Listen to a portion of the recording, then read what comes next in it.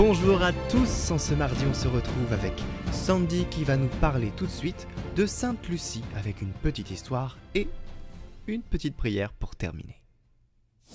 Bonjour, je suis Sandy et vous pourrez me retrouver sur mes réseaux, notamment Instagram, SandyGodlyShoes. Je suis ravie de vous retrouver aujourd'hui pour la suite de notre calendrier de l'Avent. Vous avez vu hier avec Victor euh, le Saint Jean qui était Notre-Dame de Guadeloupe. Aujourd'hui, je vais vous parler de Sainte Lucie. Qui est-elle Quelle est son histoire C'est parti qui est Sainte Lucile, née dans la ville de Syracuse en Sicile dès la fin du IIIe siècle. Sainte Lucile est une martyre chrétienne dont le nom signifie la lumière. Elle est fêtée le 13 décembre. Lucie vient du mot latin lux qui signifie la lumière et sa fête est célébrée le 13 décembre pendant la période de l'Avent et annonce la lumière qui approche. Lucie est née en Sicile d'une noble famille vers la fin du IIIe siècle. La jeune fille refusa de se marier, renonça à tous ses biens en faveur des pauvres pour se consacrer tout entière à Dieu. La légende raconte qu'un jeune païen tomba amoureux d'elle, mais que Lucie le repoussa. De rage, il la fit arrêter par les soldats de l'empereur de Rome et elle fut emprisonnée, torturée puis décapitée on raconte que Lucie aurait demandé à son fiancé pourquoi il tenait tant à elle et il lui aurait répondu vos yeux. En réaction, la jeune fille s'arracha les yeux et les lui offrit. Mais la Vierge Marie aurait rendu la vue à Lucie avec des yeux encore plus beaux. Une autre légende raconte que Lucie aurait elle-même remis ses yeux en place après que ses bourreaux lui eurent arraché. Sainte très populaire. Le culte de Sainte Lucie de Syracuse remonte au 1er siècle. Et en Suède, à titre d'exemple, il y a plus de 4 siècles, elle a remplacé la fête païenne de la lumière et des mauvais esprits. Le 13 décembre, les jeunes Suédois vêtus de robes blanches et ont qui ont une bougie à la main et une couronne lumineuse sur la tête font des processions avec leur tête. Lucia, une jeune fille élue pour incarner la sainte. Dans toutes les maisons, on célèbre la Sainte Lucie et la tradition veut qu'on déguste des petits gâteaux en forme d'étoiles.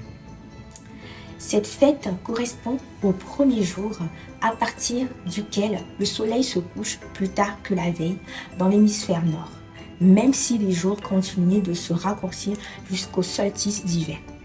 Comme le rappelle le dicton, à la Sainte Lucie, le jour croît d'un saut de puce. Ces reliques vénérées à Syracuse ont été transportées d'abord à Constantinople et elles sont aujourd'hui à Venise.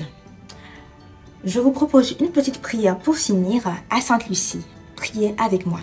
Ô glorieuse Sainte Lucie, toi qui as uni ta profession de foi, la gloire du martyr, obtiens-nous de professer ouvertement les vérités de l'Évangile et de marcher fidèle aux enseignements du Sauveur aux vierges de Syracuse soit la lumière de notre vie et le modèle de toutes nos actions.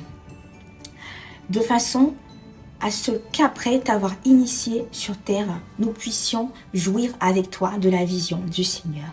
Amen. Je vous souhaite une excellente journée. À demain pour la suite de notre calendrier de l'Avent. C'était Sandy. Dieu vous bénisse.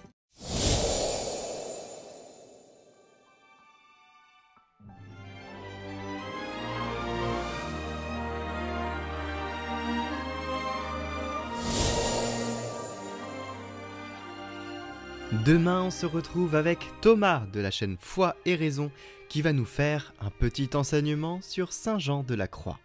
Un personnage très important qui vraiment a écrit des choses merveilleuses et je vous invite vraiment à vous renseigner sur lui, à, à lire ses textes si vous ne les connaissez pas.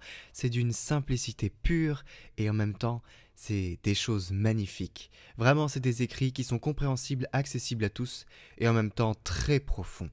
Donc je vous invite à découvrir ce saint, ses écrits. Vraiment, n'hésitez pas, c'est juste fantastique. Et je vous souhaite une très bonne journée. Retrouvez ce parcours sur nos chaînes YouTube Catoglade après les lectures du jour, sur Catoglade Prière en individuel, sur notre newsletter ainsi que sur notre compte Instagram. Les liens sont en description.